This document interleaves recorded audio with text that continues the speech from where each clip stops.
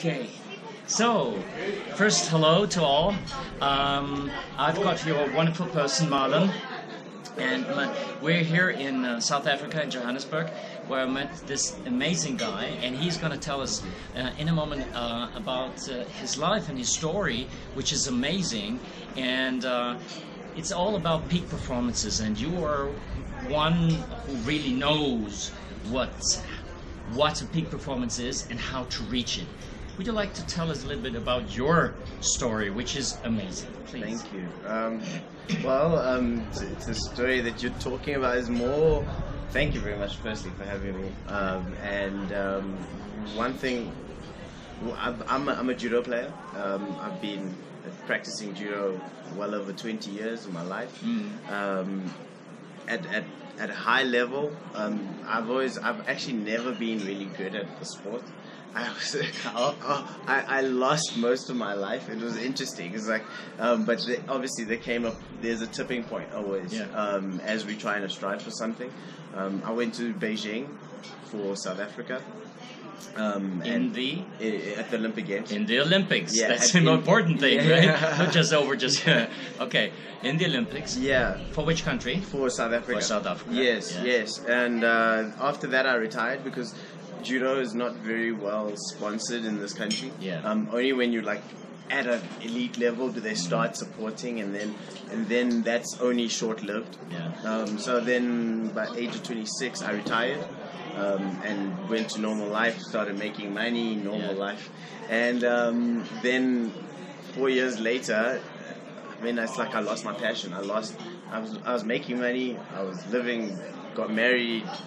You know, I'm, I'm living the life. Yeah. In inverted commas, you know, bought a fancy car and all that stuff, and it just seems sort of empty. Yeah. Um, even though I, I love my wife, I love my family, but what happened then I sort of lost my passion and then I decided slowly I don't know something edged me towards um, back going back to judo um, and it was just like a national championships that was here and I and my coach just called me up he says Marlon I need you to come and help me because these guys suck. Irrit- we need someone to win this championship to, to win the championship Yeah. team so I was like okay cool I'll be there and we went and I, I and I won the national championship Uh-huh. um, and as a team, we also won the, the, the, the, the team championship.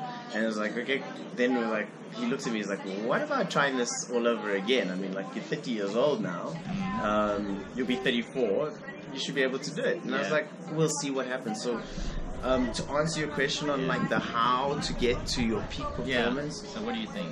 How did you how do you reach your peak performance, especially in those states where you really have to be very focused?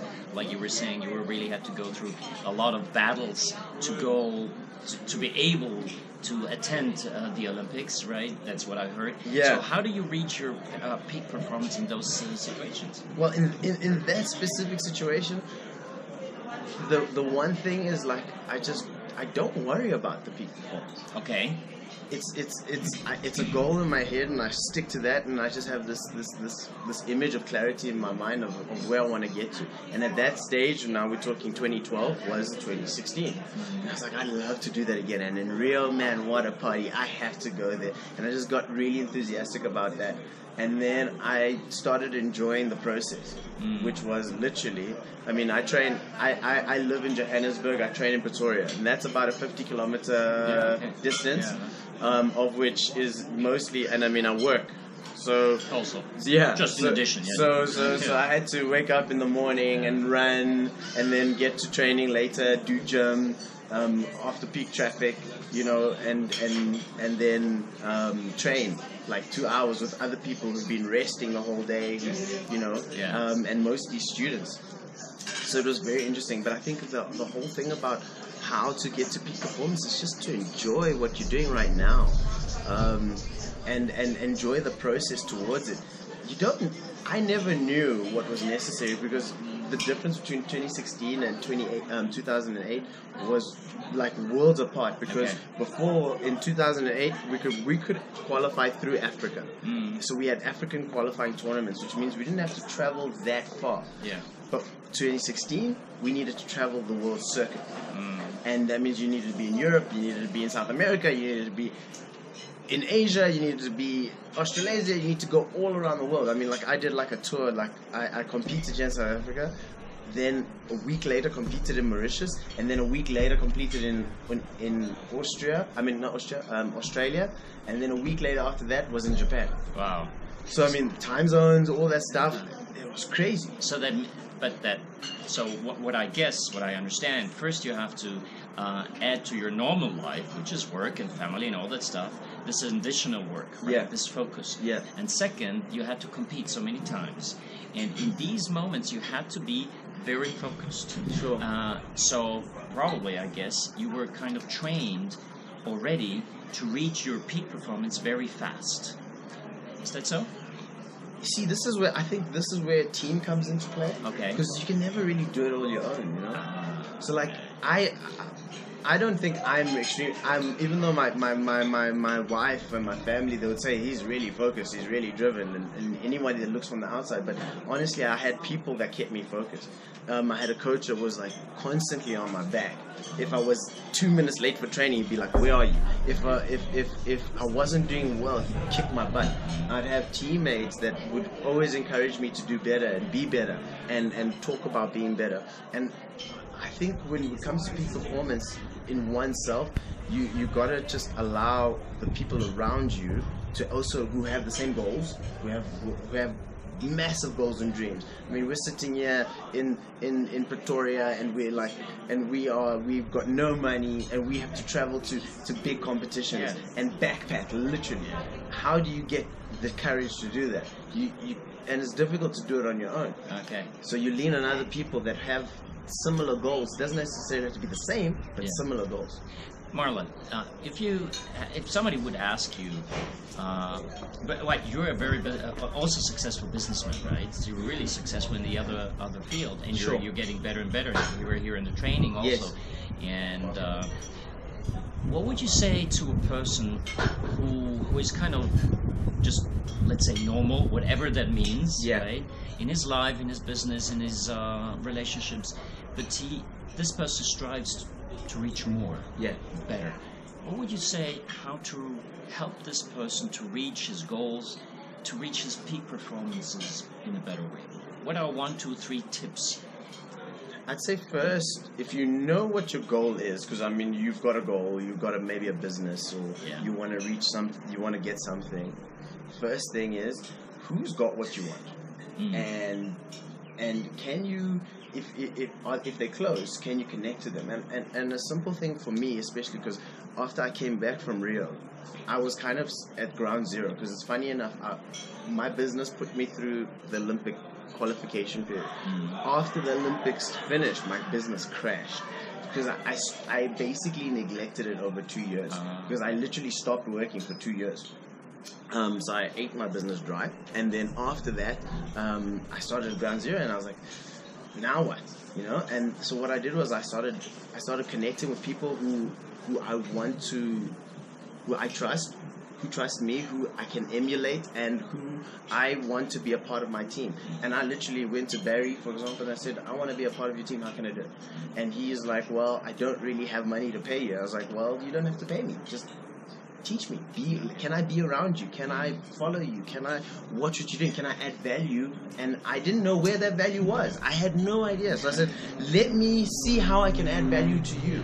Because this is how I'm to learn and this is how I can see where the gaps are so that I can add value. And then maybe through that we can create a revenue stream for the both of us. And he was like, and he understands that better than I. So he was like, sure. So I think the first thing is find the people who are doing better than you, that that that that, that are in a better position, um, a higher position in inverted commas, and then try to connect with them.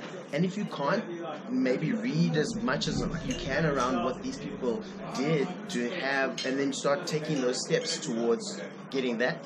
That's the first step. Second step is and this is what I'm learning now is is to really serve. You know, try and serve as much as possible. It's still my lesson. I'm still learning because I tend to be. I mean, with with sport and Yeah. judo, I'm I'm a fighter. You're so the, I'm like, the single one. you know, it's like me and you. Let's go. Yeah. But with in this, it's like, how can I give you more? yeah. And and when you when you empty out yourself, there's so much more that comes back. and in resources, in, in capacity, and you know, so um, who can you serve? Um, how can you actually add value to someone else? Not in your perception, in theirs. Um, and then how can you just do like that one thing every day that's going to keep you in a positive state of mind? Gratitude.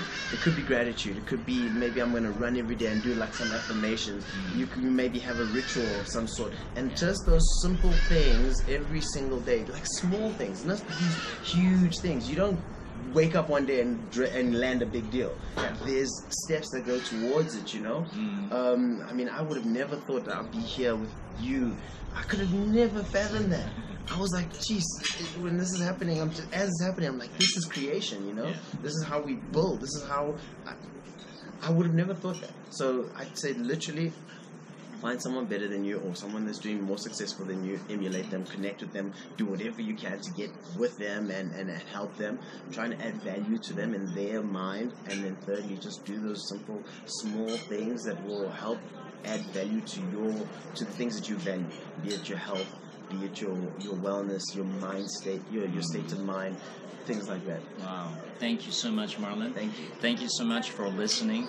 Uh, it's amazing, you know. Uh, it's it's an honor meeting you, Thank you. and you're really we're are serving here and us and to help us grow more.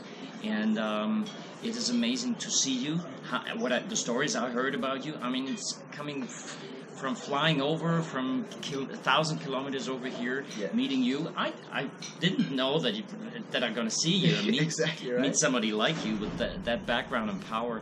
So it's really, it's always the thing is where can you find something what is different in your life or somebody who can sparkle you uh, and your missions and your ideas to help you get bigger and grow more. Yeah. Your business, your family, Yeah. um, or yourself. Yeah. Thank you so much. Thank you. Thank you.